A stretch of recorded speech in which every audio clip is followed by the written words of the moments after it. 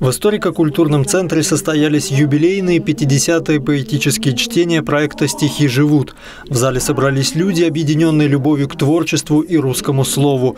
Первая встреча состоялась в конце февраля 2016 года. Сегодня 50-й этот день э, для меня самой ну, праздник, подарок. Я сама удивлена, что мы смогли 50 раз собраться в этом зале, где поэтическое русское слово нас и, и любит, и прощает, и бережет, и взращивает наши души.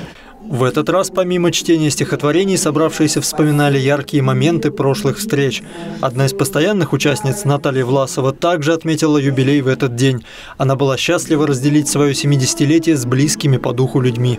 Главное – это э, общаться и жить среди любимых мною людей, разных совершенно, но очень мною уважаемых, любимых и приятных мне.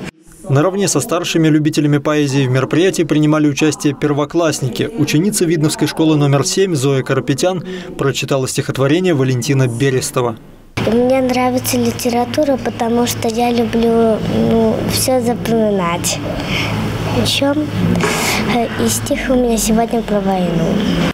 Любовь к прекрасному малышам прививает их учитель Людмила Исаева. С самых ранних лет она знакомит детей с поэзией российских авторов, в том числе и местных современных поэтов. Нас сюда пригласила Наталья Феликсовна Замарина. Мы очень знаем, знакомы близко с ее творчеством. Мои дети старшие выступали на зубовских чтениях, ее творчество озвучивали. И поэтому мы с радостью приняли это приглашение.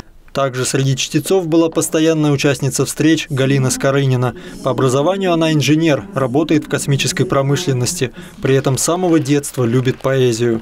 Стихи вызывают у меня чувство радости, легкости, вдохновения. И мне нравится делиться этими чувствами. Нравится, когда а, я вижу в глазах у людей, которые слушают, э, отклик. Вот понимаю, что у них такие же чувства возникают. В этот день со сцены прозвучали произведения классиков отечественной литературы Пушкина, Цветаевой, Пастернака и многих других. Поэтические чтения в историко-культурном центре будут продолжаться. Следите за афишей на сайте учреждения.